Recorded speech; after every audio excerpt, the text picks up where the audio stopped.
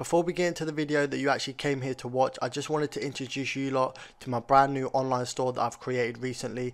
Um, it's a bit bare bones at the moment. I'm only selling t-shirts for now, but once it starts picking up, I will start introducing new clothes. And if you are interested, it is linked in my description, so be sure to check that out. And without further ado, let's get into today's video. Alright, what's going on guys? Back with another tier list. In this video, I'm going to be going over streetwear brands, so yeah, let's get into this. So yeah, these are all of the brands, obviously, and um, yeah, let's see what they're saying. Obviously, anti-social social club trash. Like you, like if you watch my videos, you you know what I think about anti-social club. Just dead brand. I hate that brand with a passion. Basic and yeah, not a fan. Um, V-Lone. Oh, I really don't know if this was like 2018. It'd probably be A tier, but it's sort of fallen off now, and um, yeah, I don't really hear too much about it. So it's going to go B tier. It is going to go B tier. Obey. Um, if this was like 2006, maybe this would be goated. But um, the only really thing I can remember off of Obey are the hats. Um, nothing else really. Oh, I don't want to put it next to Anti-Social Social Club because it did have a big like rise and it was popular for a brief minute. C tier, C tier, definitely, definitely. Um, Stussy, I have done a lot of research on Stussy. Obviously, I made the history of Stussy logo, and I am going to put it A tier just for the simple fact it's been around for I think four decades. Um, the owner of Supreme was actually in with in with Stussy, and the owner of Fear of God was actually like working for Stussy as well. So Stussy is goated. It's sort of making a comeback now, and yeah, a very heavy brand. Uh, champion, oh, oh, champion. Um. I'm going to go B tier just for the simple fact that it's American brand. It's been around for a long time as well, and they have sort of had a lot, a lot of ups and downs, and they've sort of like stayed afloat for that period of time. So yeah, B B tier. Uh, Bape. Bape, Bape, Bape. It's either goated or A tier. Obviously, there was a brief moment, well, not a brief moment, a long time where it was goated. Um, it sort of drifted down to A tier now, but as its whole history, I'm gonna say goated. I am actually gonna say goated in the whole streetwear like scene. Yeah, yeah, def definitely goated. Um, Adidas goated, 100% goated. I believe Adidas was the first brand to do a collaboration with like anyone. Um, it was a Run DMC collaboration, and yeah, like Adidas has been around for like so long, and yeah, they're they're, they're actually a certain brand. Um, Stone Island. Uh, I've got a real, I've got a real um love for Stone Island. Obviously, you know, um, it is a certain brand, and that yeah, they're just very unique and different. I I can't put it goated, so I am going to put it A tier. FDP, very very cool brand as well. If you don't know what FDP stands for, um, it's sort of like a Loki brand as well, but it stands for fuck the population or fuck the popular. Um, and yeah, um, I do rate a lot of their pieces. I do like the all over print that they do. Uh, that that looks sick. Um, I can't put it here. I am I am gonna put it A tier. It, like it can't go goated because it's not that popular if that makes sense. But yeah, um, Vans. Okay, Vans. Oh, I do want to put it goated, but I don't really have that much love for Vans. Like apart from their shoes, what do they really do? Like their their clothing don't really pop like that. So yeah, A tier. A tier. Fila, Fila, okay. Fila back in the day was a certain brand again.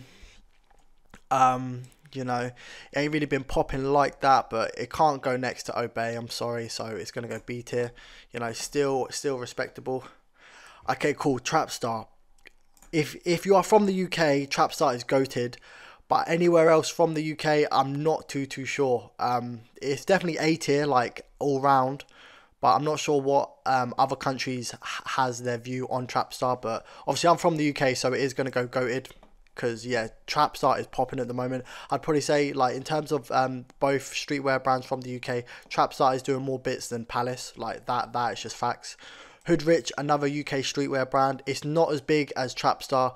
I wouldn't even put it on A tier as well. It is gonna go B tier, you know. But but Hoodrich is still like it's still a certain brand. Off White, um, yeah, crazy. Um, definitely, definitely, definitely uh, uh, goated.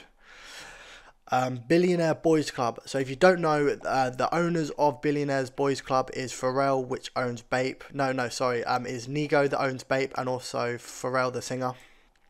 Um, they are a bit low key, but they are still a certain brand. I can't lie, and and they're sort of like high end fashion. It is gonna go A tier, boys. It is gonna go A tier. Obviously, you know, fight me in the comment section. But Billionaires Boys Clubs is a certain brand. Um, Nike, I do not have to really say anything about Nike. Nike is just 30 all round. Their clothing is, is, is heavy. Their shoe game is heavy.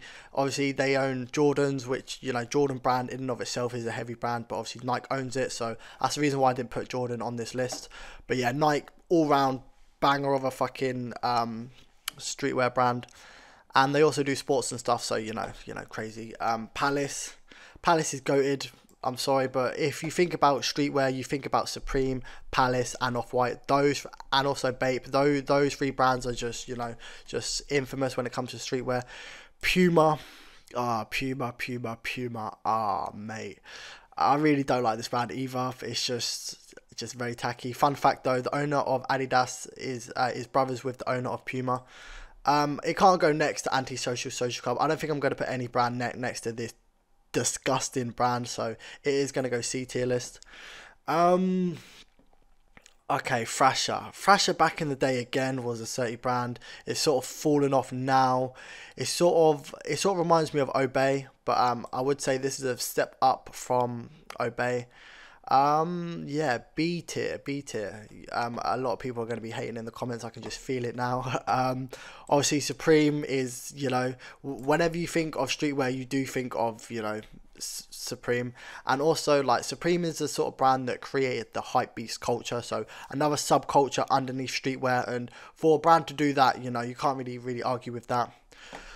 Um, North Face. North Face is also another 30 brand, but I will say this if North Face didn't make coats or jackets or any like outer layer, you know, um, I don't think they would be popping as much. So for that reason, it is going to go B tier. It can't go A tier because they don't really do. Um, I mean, they probably do tracksuits and all of that stuff, but it don't really bang like that. It's only really the coats and jackets. So, you know, North Face. But still, I do rate. I do rate North Face highly. If you haven't seen my top five North Face collaboration video, I would highly recommend watch that video. That is probably one of my favorite videos. Um, and now we've got Tommy Hilfiger. Okay, Tommy Hilfiger. It's not trash. It's not C. It's either B or A. Um, it's sort of along the lines of Fila as well. Maybe a bit of Champion, but out, out of these two brands, I do feel like Tommy Hilfiger is superior. Um, just for like the vintage look, and you know, it's it's it's a bit more timeless. Do I do it?